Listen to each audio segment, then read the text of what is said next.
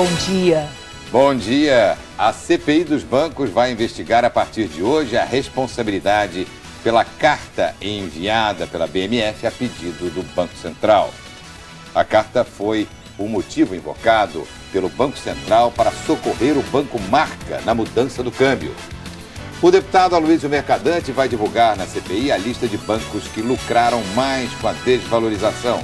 O deputado suspeita de informação privilegiada. Mudam as regras para os fundos de investimento. O Bom Dia conversa sobre fiscalização financeira com o presidente da Comissão de Valores Mobiliários, a CVM. O principal suspeito de atentados contra minorias em Londres presta esclarecimentos à polícia britânica agora de manhã. Novos esforços por uma saída diplomática para a guerra nos Balcãs. Rússia e Estados Unidos discutem mais uma proposta para acabar com os bombardeios na Iugoslávia. A torcida da Ferrari vai ao delírio com a vitória da escuderia em Imola, na Itália, depois de 16 anos. Para os brasileiros, o terceiro lugar de Rubens Barrichello teve sabor de vitória. Tem mais.